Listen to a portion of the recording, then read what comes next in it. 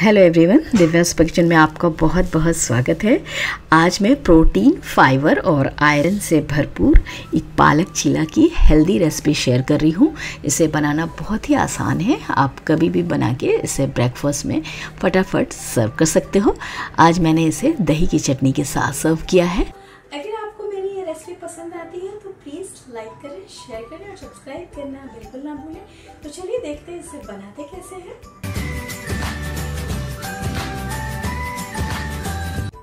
Healthy पालक चिला बनाने के लिए ये मैंने 200 ग्राम पालक ले लिया है। इसको मैंने अच्छी तरह से धो लिया है।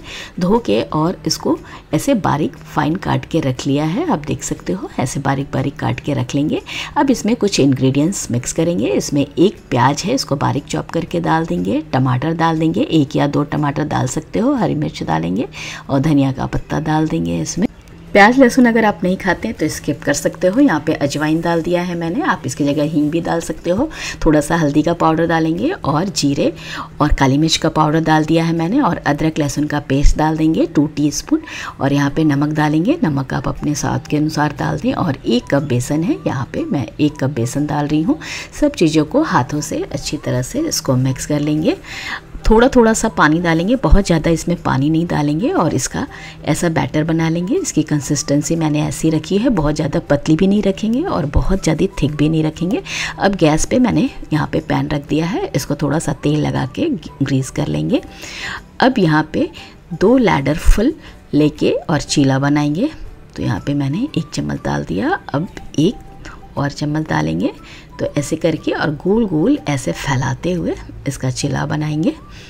गैस का फ्लेम मैंने लो मीडियम रखा है। अब इसके किनारे पे थोड़ा सा ऑयल लगा देंगे ऐसे। बीच में भी थोड़ा सा ऑयल लगा देंगे जब ये सूख जाएगा तो। अब इसको कवर कर देंगे। कवर करके दो तीन मिनट एक साइड से पकने देंगे। फिर दो तीन मिनट एक साइड से पकाएँगे। तो आप देख सकते हो, इधर से दो तीन मिनट मैंने अच्छे से स्लो फ्लेम पे, लो मीडियम फ्लेम पे इसे पका लिया है। अब इसको ऐसे पलट देंगे। गैस का फ्लेम लो मीडियम ही रखें, नहीं तो ये अंदर से कच्चा रह सकता है।